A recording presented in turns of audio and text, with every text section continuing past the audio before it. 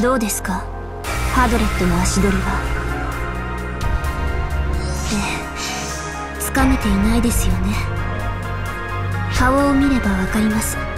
気にしないでください。私も似たようなものですから。でも諦めはしません。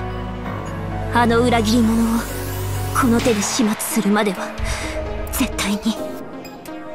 私たちを私を裏切り去っていったあいつは絶対に許さない。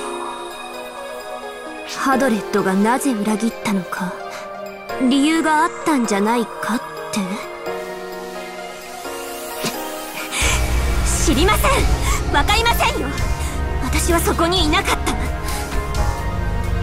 た。裏切り者は裏切り者なんです。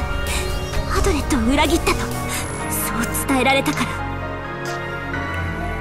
結局私はあいつのことなんて何も分かっていなかった。それだけのことなんですよ。